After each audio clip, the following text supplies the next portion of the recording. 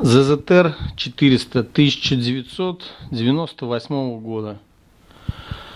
Приехал с проблемой шум в коробке и вылетает вторая передача. Ну, это у них частое явление. Поэтому сейчас мы этим и займемся. Ну, для начала, как всегда, снимаем пластик, сливаем тосол, масло, отсоединяем карбюратор, снимаем бак, сиденье и снимаем двигатель. Ну и дальше будем смотреть. Итак, все подготовлено к снятию двигателя. Карбюраторы сняты, радиатор снят, тосол слит, масло слито. А, все провода отсоединены, генератор отсоединен. А, звезда ведущая снята. Масса отсоединена, стартер отсоединен. Вот. Сейчас будем убирать крепление двигателя. Откручивать точнее. Вот это. Потом. Сейчас я камеру туда подведу. Вот тут. Потом вот тут. Вот тут. И, соответственно, с той стороны то же самое. Ну и все, двигатель у нас по-хорошему должен упасть. Все, снимаем. Итак, двигатель с мотоцикла снят. Конечно, это еще та процедура, когда ты делаешь это один. Так, вот двигатель. Сейчас что буду делать? Буду снимать боковые крышки, сцепление. Крышку генератора я уже снял. И потом буду снимать нижнюю часть картера. Головку в этом случае трогать не нужно с клапанами, то есть все остается на месте. Цилиндр, поршневая группа тоже. Все работы будут производиться снизу двигателя. Ну что, начнем. Итак, боковые крышки я снял. Перевернул двигатель вот в такое интересное положение. А сейчас буду снимать поддон масляный, ну а затем картер. Итак, картер вскрыт.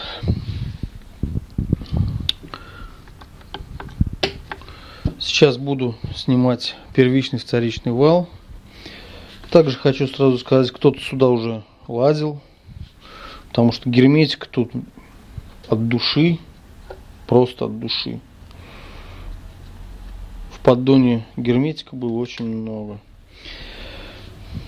Но будем надеяться, что маслоканал никакие не забил. Потому что сетка, в принципе, я ее почистил, но она тут есть, и как бы туда не могло ничего попасть. Так, ну сейчас будем снимать первичный, вторичный вал.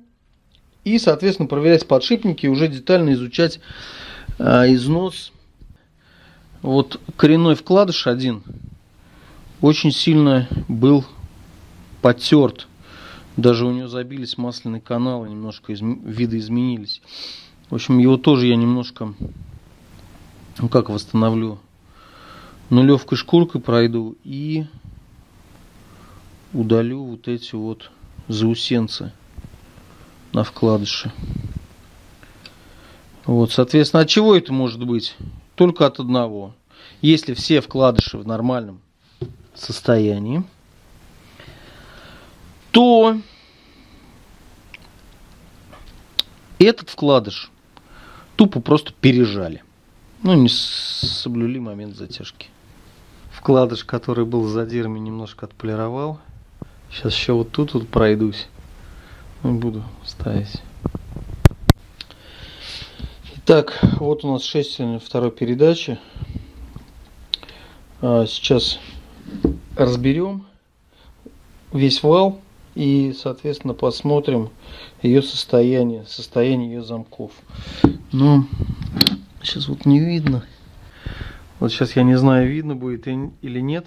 Вот здесь вот должен быть конус. Вот с этой стороны, если он есть, а с этой стороны его нет. И на каждой на каждом замке зацепление выработка такая, что... Так, ну, в общем, обточил я шестерню включения второй передачи. сделал вот эти вот бабышки немножко на конус каждую.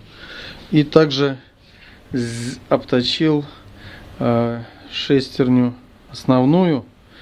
Вот видно в местах зацепления. То есть сделал небольшой конус, который тоже тут был утрачен. Вот, ну, соответственно, теперь зацепление при нагрузке будет лучше. Ну, посмотрим, что из этого выйдет. Сейчас буду все собирать обратно. Так, я снял вал переключения передач. Вот видно вот бабышка включения второй передачи, как она изношена. Примерно миллиметр точно.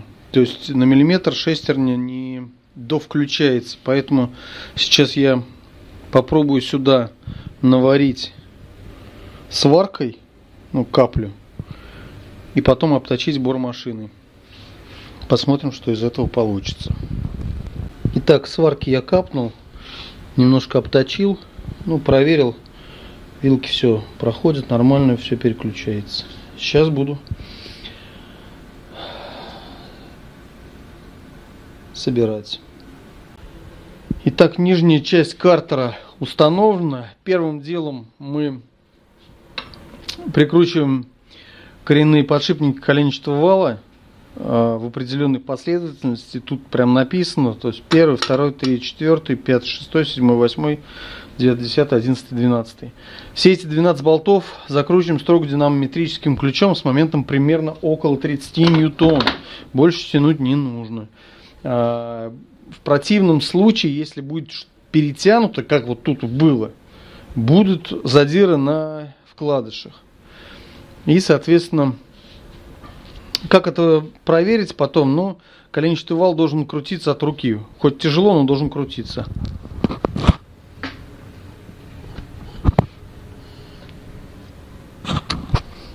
Так, он крутится. Итак, сейчас я проверю включение-выключение передач.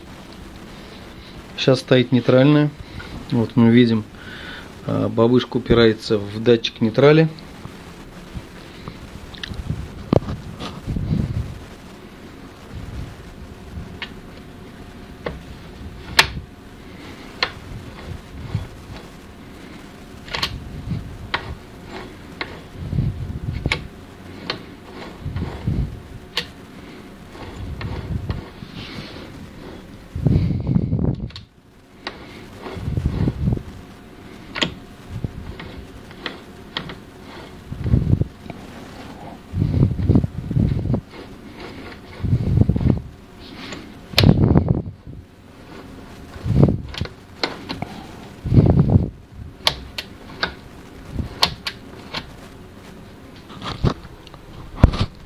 Так все передачи включаются.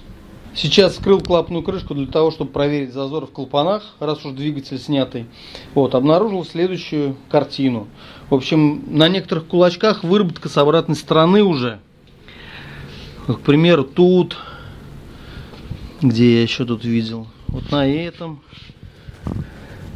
на этом, в общем, где-то клапанов 6 из 16 пережаты.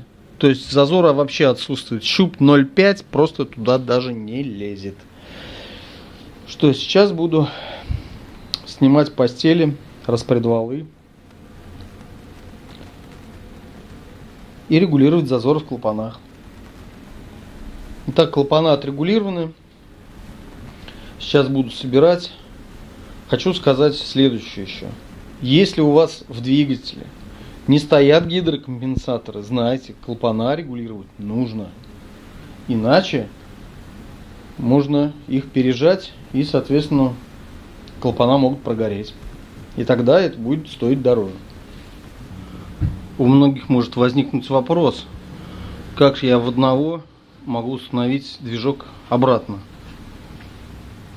Ну вот таким нехитрым способом стяжка спереди и стяжка сзади. Ну все, движок поднимается потихонечку. Его корректирую. Ну, сейчас буду втыкать первое крепление. Дальше он уже никуда не денется. Итак, мотоцикл практически собран, осталось сделать только синхронизацию. Как видно по синхронизатору разбег э, очень серьезный, особенно на третьем цилиндре. Сейчас я сделаю синхронизацию и окончательно уже соберу мотоцикл.